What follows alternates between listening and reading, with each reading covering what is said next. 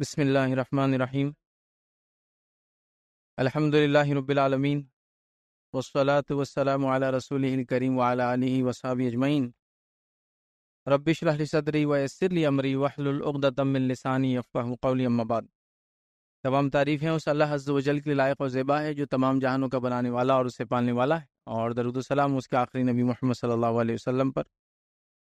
मैं आप सबका इस्तकबाल इस्लामी तर से करता हूँ। अस्सलाम वालेकुम व रहमतुल्लाहि व बरकातुहू। जिसका माना होता है, जो लोग हमारे नॉन मुस्लिम भाई बहन हैं, ईश्वर की शांति और कृपा आप सभी पर हो।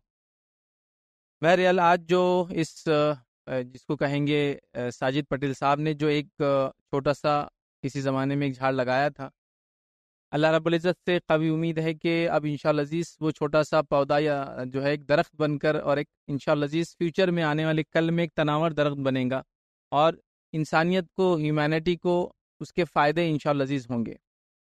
क्योंकि मुझसे कहा गया था कि कुछ बातें मैं जो है एक्सरसाइज के बारे में बताऊँ, अच्छी सेहत के बारे में बताऊँ।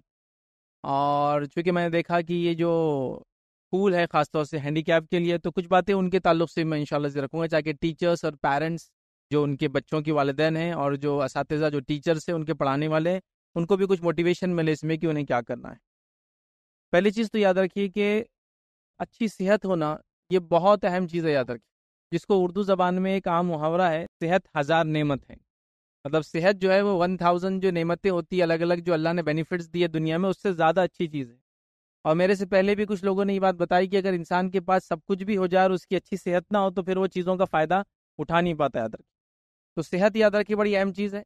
इसी बात को दुनियावी तौर से लोगों ने बयान किया मतलब जो लोग साइंस वगैरह से वो करते हैं तो उसने ही बयान किया।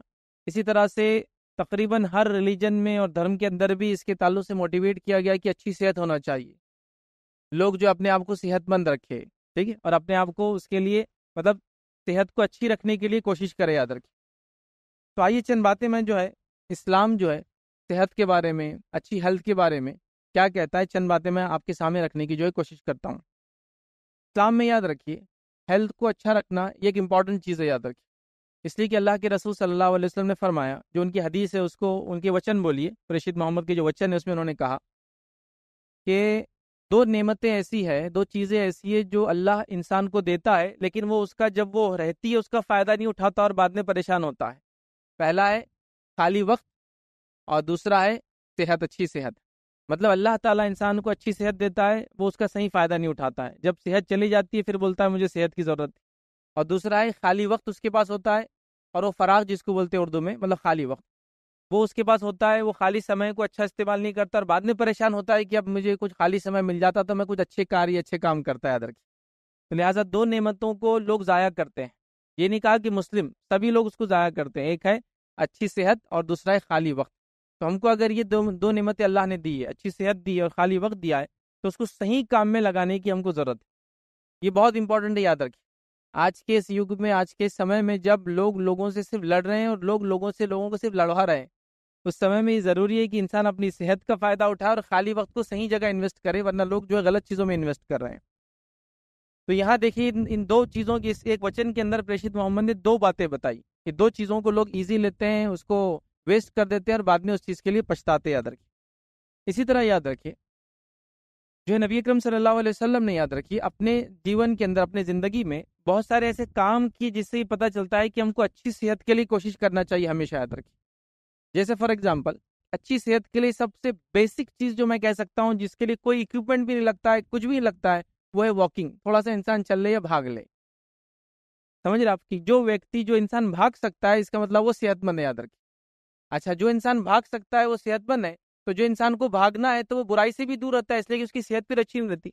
कोई भी आदमी फुटबॉल खेलता है तो वो स्मोकिंग टोबैको ड्रग्स नहीं ले सकता, वरना वो खेल ही नहीं सकता बेसिकली तो रनिंग एक ऐसी चीज़ है, याद रखिए, उसके लिए बहुत, जिसको कहते हैं, इंसान कोशिश करता है मतलब उसके लिए एक अच्छी हेल्थ की ज़रूरत है।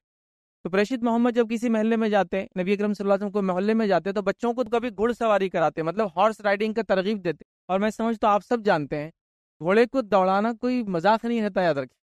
घोड़े पर बैठ के अगर उसने थोड़ा सा भागना शुरू किया ना तो अच्छे अच्छों की कमर सीधी हो जाती है। आप समझ रहे मतलब अगर किसी को आदत नहीं है तो उसका हाल बुरा हो जाता है याद रखिए मतलब उसको एक अच्छी सेहत की ज़रूरत होती है तभी एक इंसान घोड़े पर बैठ सकता है याद रखिए तो नबी अकरम सल्लल्लाहु अलैहि ने घोड़दौड़ उनके अंदर लगाई।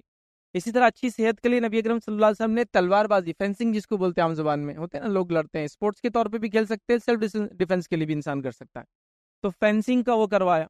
और उस जमाने में लोग छोटे बच्चे भी होते तो फेंसिंग करते, क्योंकि उस समय में इंसान के जीने के लिए एक ही तरीका था, अपने आप को बचाना है। चूँकि वो रेगिस्तान में था और जब आप निकल जाते अपने शहर से तो फिर लूटमार बहुत आम थी क्योंकि वहाँ खेत नहीं होती, खेती नहीं होती थी और सूखा होता था तो लोग लूटमार करते थे बहुत ज़्यादा।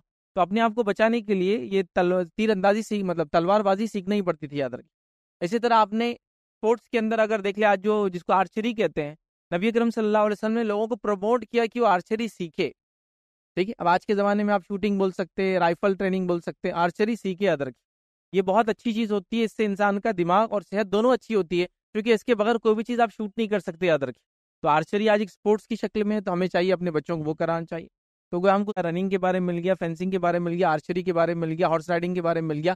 तो कई स्पोर्ट्स से आज याद रखें तो अच्छी सेहत के लिए ये सब चीज़ें आप कर सकते याद रखें और इस्लाम में जितने भी काम है, या एक एक व्यक्ति, एक अच्छा मुसलमान हो तो पाँच टाइम नमाज़ पढ़ता है।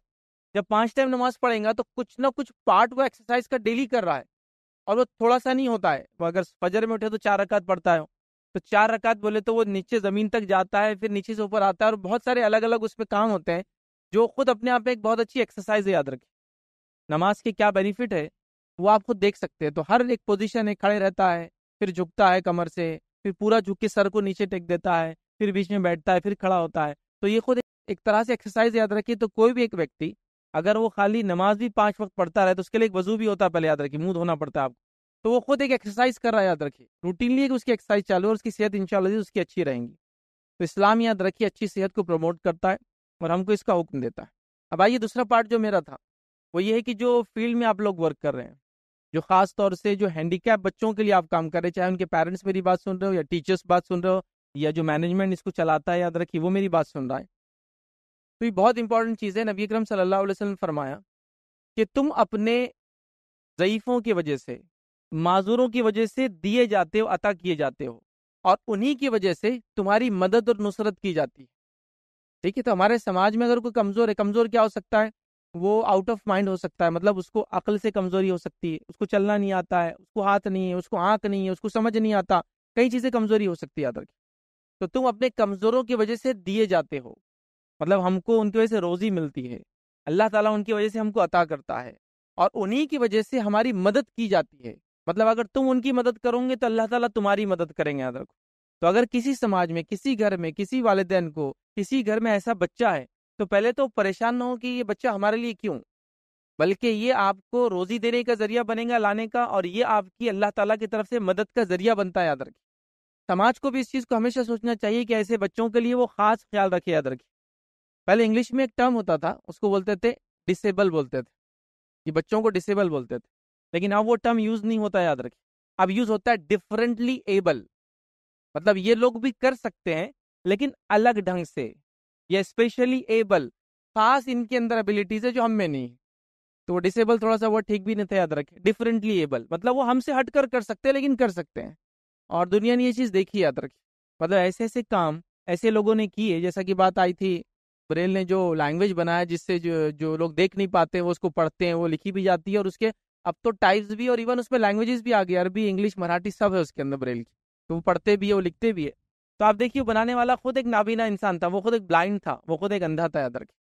और आज भी आप देखते हैं, इतने बड़े बड़े कारनामे ऐसे लोगों ने किए तो ऐसे बच्चे याद रखिए, अलग नहीं होते याद रखिए, या ऐसे बच्चे कमज़ोर नहीं होते, वो थोड़े से मुख्तलिफ़ होते हैं। लेकिन उनकी भी स्किल्स को अगर हम डेवलप करें, उनके पीछे अगर मेहनत करें तो दुनिया में बहुत कुछ कर सकते हैं याद रखिए। मैं एक इंटरनेट पे एक बहुत मशहूर मोटिवेशनल स्पीकर है ऑस्ट्रेलियन स्पीकर है तो निक उसका नाम है तो उसका एक बहुत मशहूर मकौला है, no no hands, no legs, no worries. मतलब ऑस्ट्रेलियन है, उसको हाथ भी नहीं है, उसको पैर भी नहीं उसको हाथ आप देखेंगे, कुछ भी नहीं मतलब पैदाइशी मापेट से ना हाथ है ना पैर है तो एक तरह से वो ऐसा छोटा सा इंसान है मुश्किल से ऐसा मतलब सिर्फ़ जिसम का इतना हिस्सा उसका है। और उसका एक बहुत मशहूर कॉल है नो लेग्स मतलब उसको पैर नहीं है तो बोलता कोई पैर नहीं है, नो हैंड्स, मुझे हाथ नहीं, नो वरीज तो मुझे मसाइल भी नहीं है फिर। मतलब हाथ पैर नहीं है तो मुसीबतें भी नहीं, मुश्किल भी नहीं। और वो दुनिया के ऐसा कौन सा काम है जो वो नहीं कर सकता? आप कभी वीडियोस देखिए उसके नेट पे बड़े मशहूर वीडियोस है उसके, कि वो स्विमिंग कर लेता है, फुटबॉल के अंदर गोलकीपर की हैसियत से रोल करके गोल को रोकता है। इसी तरह जो है डिफरेंटली एबल लोगों के लिए गाड़ियाँ होती स्पेशल गाड़ी चला लेता है। उसके अलावा मोटिवेशनल स्पीकर है, पूरे दुनिया में जाके तकरीरें देता है। ज़ाहिर से तो उसको चलना नहीं आता तो उसको उठा कर लेके चलता है या मशीन पर बैठ के उसकी खास सीट होती है कुर्सियाँ। लेकिन उसने मतलब उसके इस चीज़ ने उसको रोका नहीं इस चीज़ से याद रखी। जैसे हम लोगों का होता है ना, पेरेंट्स परेशान हो जाते हैं ऐसे बच्चों के लिए। परेशान नहीं होना चाहिए। आप उनके लिए दुआ करना चाहिए और उनके लिए मेहनत करना चाहिए, याद रखिए। ये बच्चे भी आपको नाम कमाएँगे, याद रखिए। ऐसा नहीं है। बस आपकी जस्तजू और कोशिश हो इनके लिए, याद रखिए। ये इंपॉर्टेंट चीज़ है। वो लोग जो इनके लिए कोशिश कर रहे हैं, जैसा कि ये जो सोसाइटी जो इनके लिए काम कर रही है, जो इसके सोसाइटी की ट्रस्टीज है, जो इनके लिए काम कर रहे हैं फिर वो लोग जो है डायरेक्ट वर्क करेंगे, जो इनके लिए काम करेंगे। वो लोग जो इनको एड करेंगे, मदद करेंगे, सहायता करेंगे, काम करेंगे, ये सबके लिए बहुत सवाब है याद रखिए ये मामूली चीज़ नहीं याद रखिए क्योंकि जैसे हदीस में ना तुम तुम्हारे कमजोरों की वजह से दिए जाते हो और मदद किए जाते हो तो ये हमारे लिए भी सिर्फ़ घर वालों के लिए नहीं है।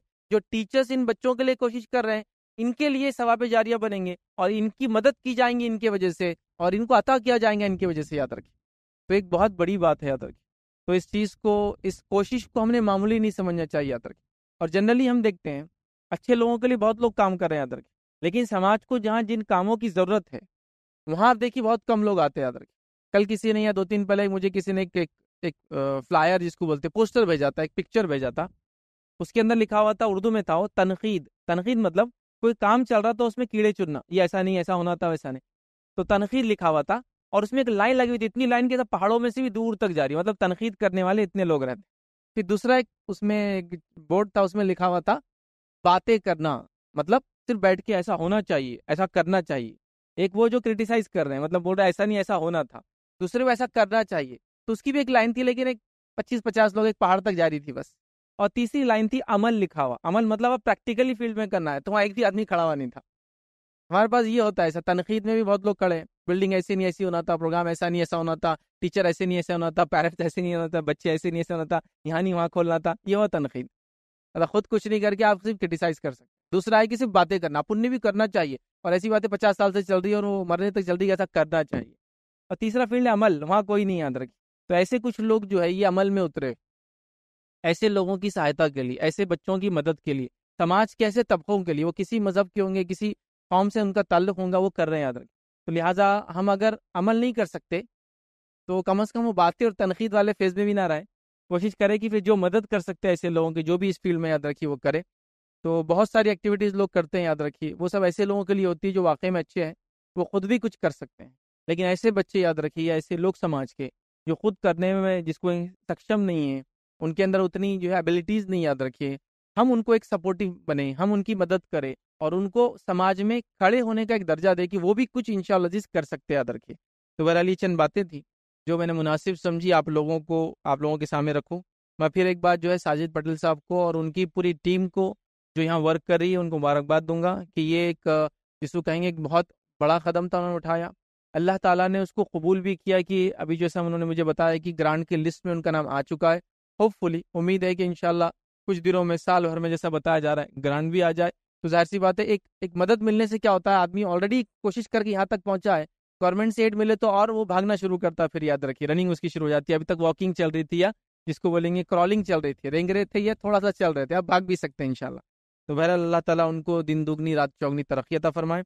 आप तमाम को, जिनके बच्चे यहाँ होंगे, आप तमाम को सब्र अता फरमाएँ। इन बच्चों के लिए आपको कोशिश करने वाला, इन बच्चों को आपका और आपको इनका सहारा बना याद रखिए।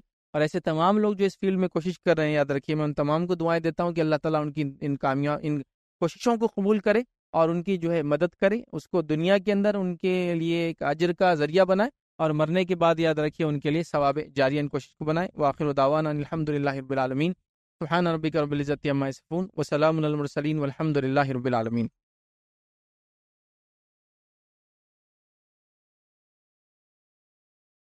वालेकुम आप भी हमारे इस काम में ताउन करें, अपनी ज़कात और के ज़रिए। डोनेशन डिटेल्स के लिए डोनेट पर क्लिक करें। अगर आपको हमारे वीडियो पसंद आए हैं तो इसे शेयर करें और सबके हकदार बने। रोज़ाना हमारे वीडियो को पाने के लिए हमारे यूट्यूब चैनल को सब्सक्राइब करें और बेल आइकन दबाएँ। हमसे दीगर सोशल मीडिया पर जुड़ने के लिए वीडियो में दिए गए आईडी को सर्च करें। जजाकल्लाह।